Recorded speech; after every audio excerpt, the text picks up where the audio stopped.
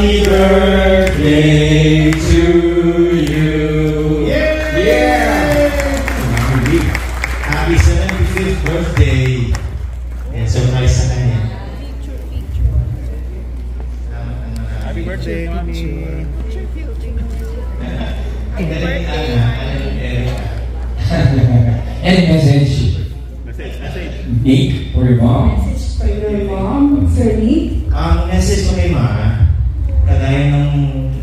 First day na na-stroke si Mama, ah, Ma, kung magpapadala ka, kasi yung stroke, kakambal niya is depression. Sabi ko, the moment na magpadala ka sa depression, wala na. That's why a lot of stroke did not survive, di ba? Kasi coupled with crying and all that. So si Mama malakas, talagang nakikita niya siya sa Facebook, uh, she's really standing up and fighting. The only reason why I post her sa social media is for people to do the same thing. Gusto ko makita nila yung struggles ni Mama, hindi hindi biro, you know, ang hirap niya. And then I have to give up so many things, pero I count them all joy. You know, I gave her everything from Mama. I never wanted her to feel alone. And, uh, yan.